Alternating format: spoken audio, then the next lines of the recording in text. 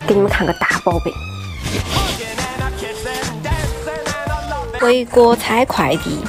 Hello，各位哥哥姐姐们，大家好，我是你们为了买玩具而加班到吐血的社畜伟哥。话不多说，让我们进入今天的正题吧。蝙蝠侠和小丑的名气，即使不关注超级英雄女孩子，也应该知道这两个角色。据说演过小丑的演员都能拿到奥斯卡奖。你心中最符合的小丑演员是谁呢？弹幕扣出你最喜欢的小丑版本。零八年版的小丑希斯莱杰应该是大部分人的选择。在电影《蝙蝠侠：黑暗骑士》中，他的表演令人压得喘不过气。他经历过风华正茂、青春逼人的偶像时期，经历过暗潮汹涌、颓靡不振的低迷期，也体验过咸鱼翻身、地照辉煌的事业回春。他对于各种富有挑战性角色演绎被人所牢记。凭借电影《蝙蝠侠：黑暗骑士》，在零九年第八十一届奥斯卡上获得奥斯卡金像奖最佳男配角奖。据说他在演这个角色之前，把自己关进房间一个月，强迫自己入戏，对自己进行强烈的心理和催眠暗示，让自己进入到了精神病患者的状态，终于把自己和小丑融为了一体。我的印象挺深的就是炸医院那一幕，小丑一边走，身后的医院一边爆炸。本来挺简单的一个镜头，哪知道走到一半爆炸停止了，希斯莱杰索性站在那里玩弄遥控器，直到爆炸继续。幸亏诺兰导演没有喊卡个意料之外的经典角色才能拍得如此精彩。当然，这也从侧面反映了希斯莱杰有多么的入戏。小丑竟是我自己。说了这么多，威哥当然是有目的的噻，请出我们今天的主角。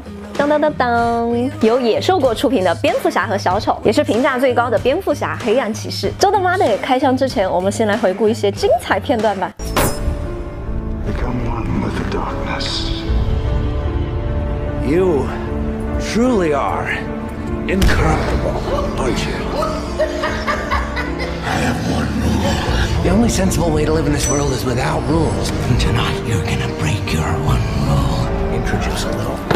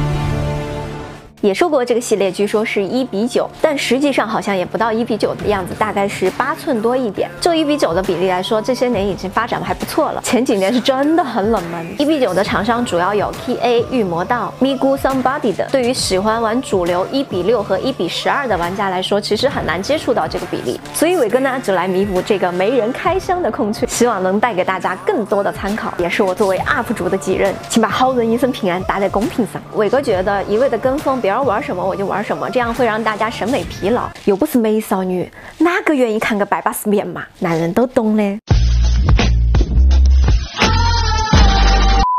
其次呢，也会失去伟哥给大家种草的初心，所以呢，想给一些犹豫入手和观望的兄弟们一点多的参考，这也正是我想做的。这年我也有去了解野兽国的产品线，这两款呢是 DAH 系列。我相信这个八不仅仅是谐音 eight 的意思，更有八寸的意思吧。不过以上是我的个人猜测。不过在我研究可动玩具的发展史的时候，发现了一些比较有意思的事情。可动玩具由最早老美的玩具，从1938年的不可动绿兵，到从星战1977年开始以后，再到风靡一时的八寸小人，由这些一点点进化而来。虽然现在的八寸已经不是主流人偶比例，但仍有不少玩具厂在出简易可动不一的八寸人偶。这类玩具呢，往往是拆了包装就不能恢复的挂卡或者塑料包装，所以并不是拿来摆玩，更多是一种收藏吧。我呢也从好哥们这里借了一款过来，今天冒着和他朋友没得做的风险给大家拆一拆。我想怎么拆的能无缝给它拆拆掉呢？目前比较熟知的 Migo 最早开始涉足的就是超级英雄可动人偶，早年的卖点就是服装加关节。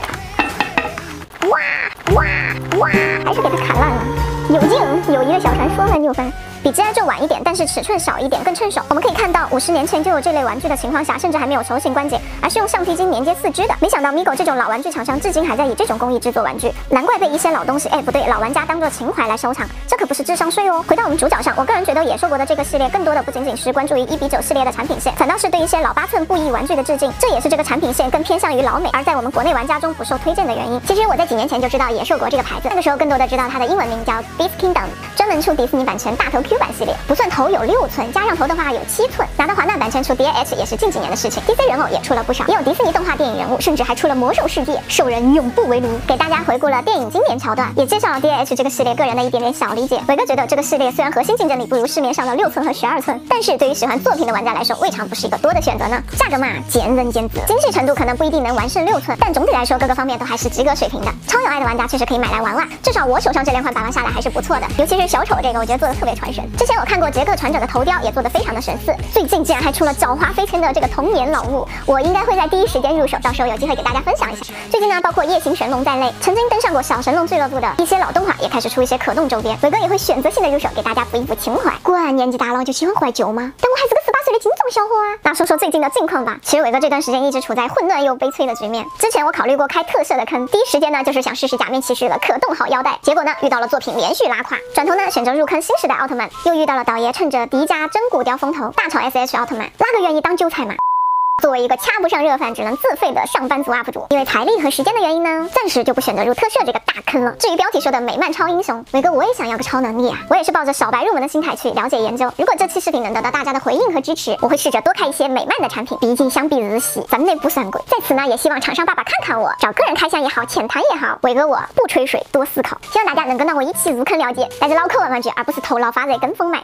视频的最后一定不要忘记点个关注哦，你的关注就是对我我最大的支持。留个家庭作业吧，为啥子？蝙蝠侠叫蝙蝠侠呢？小的兄弟们，弹幕或者评论互动留言告诉我。等一下，等一下，差点搞忘了，这个呢是我给大家准备的这期的礼物，我将会在 Q 群里面把这个礼物送给大家，你懂的，群里开车等你哦。